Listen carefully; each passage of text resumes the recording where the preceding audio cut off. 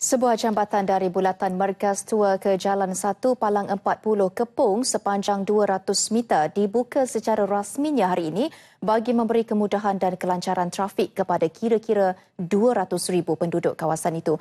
Jambatan empat lorong ini dapat memendekkan tempoh perjalanan dari Taman QPEX, Taman Petaling ke Pusat Industri Kepung serta Jalan Pintasan Segambut.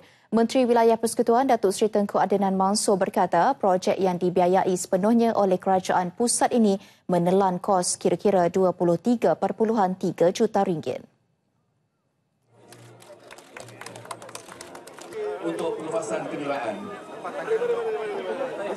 Kita nak pastikan bahawa apa yang kita laksanakan ini untuk memberi keselesaan kepada rakyat walaupun kawasan ini bukan kawasan barisan nasional tetapi tanggungjawab sebagai kerajaan pusat kita laksanakan jabatan ini untuk keselesaan warga dalam uh, bahagian Kepung dan bahagian Segambut ini. Beliau berkata demikian selepas majlis pelancaran jambatan tersebut di Ibu Negara. Dibina pada Jun 2013 dan siap sepenuhnya Jun tahun lalu, projek ini bagi melengkapkan rangkaian jalan di kawasan Kepung, Segambut dan Jinjang Selatan buat adalah satu kemudahan bagi kita kawasan Kepung.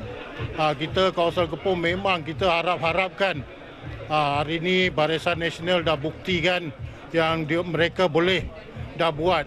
Sungguh pun di tempat pembangkang. Biasa Cina tiap-tiap minggu mesti pergi uh, ke Pembalu Pasar ni ataupun uh, akhir minggu pergi uh, itu Jesko.